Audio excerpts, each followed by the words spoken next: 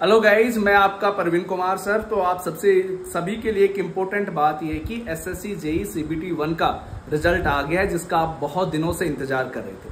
सबसे इम्पोर्टेंट बात है कि सर कट ऑफ़ क्या रही? हम उसके बारे में भी बात कर लेंगे। सबसे पहले जिन भी स्टूडेंट का सीबीटी वन का एग्ज़ाम क्लियर हुआ है, सभी को ऑल द बेस्ट और जिसका नहीं हुआ है, उसको रुकना नहीं है, बाकी एग्ज़ाम की प्रिपरेशन में लग जाना है, या दोबारा से अपने एसएससी पर फोकस कर लेना है।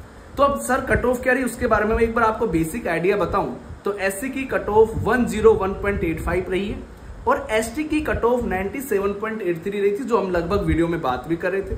ओबीसी की कट ऑफ़ है वो 116.82 यानी 116.82 गई है। ईडब्ल्यू e की 109.20 गई है और यूआर आपकी जनरल की 122.92 गई है।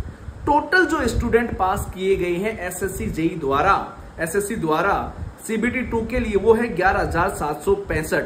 तो आप जितने भी स्टूडेंट हैं, सभी लोग जाओ और अपना रिज़ल्ट को देखो और सभी लोग इस वीडियो के कमेंट में आप सभी लोग बताओ कि आपका कैसा रिज़ल्ट रहा है दोस्तों।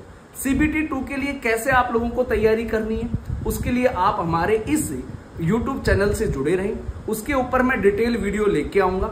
उसके लिए हम ऑलरेडी प्रैक्टिस सेशन हमारे चल रहे हैं। तो आप सभी लोगों को जल्दी से जाइए रिज़ल्ट देखिए और कमेंट में ज़रूर लिखें कि सर मेरा प्री क्लियर हो गया है, मेरे नंबर इतने आ रहे हैं। फिर हम सीबीटी टू के बारे में प्लानिंग करते हैं। ठीक है guys all the best bye